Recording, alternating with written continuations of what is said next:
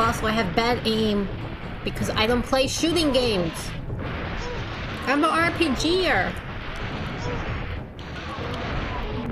Girl grew up playing RPGs all her life.